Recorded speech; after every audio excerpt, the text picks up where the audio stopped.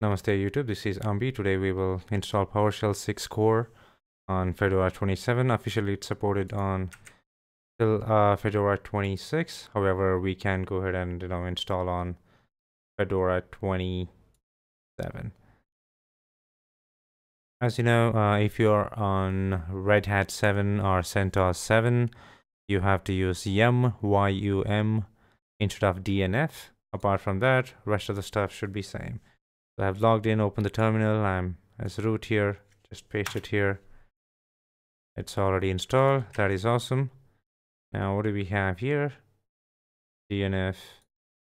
Now, how to go about it? If you just Google install PowerShell 6 on Fedora, you will get the second link that is their PowerShell. That's Microsoft's official uh, power, or Microsoft's PowerShell's official GitHub page here.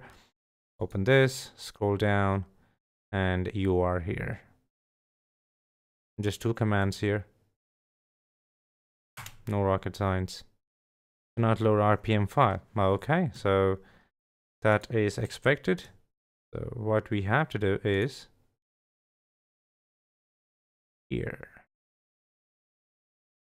All right.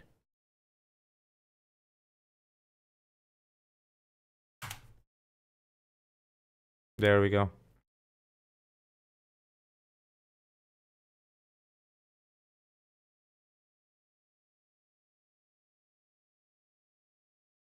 All right, so it's Wednesday 24, January 2018. That's the date. Hmm, you might be thinking, what kind of internet connection is it? Where am I? Well, uh, you know, where am I? Uh, right now it is um, 90, just few MBs. Oh, 49 MB. Oh, okay, wow. Oh, 30, 133. Okay. Yes. All right, so it's installing now. Okay, awesome. So if we have it installed here, so how are we, you know, uh,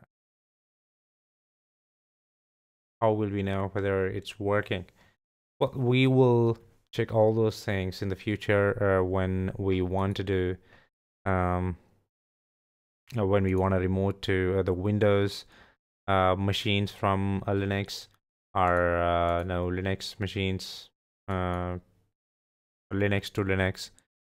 And I don't think right now it's possible from Windows to Linux. You might have to use some third-party libraries for that. So thank you for tuning in. You have a great one. Bye.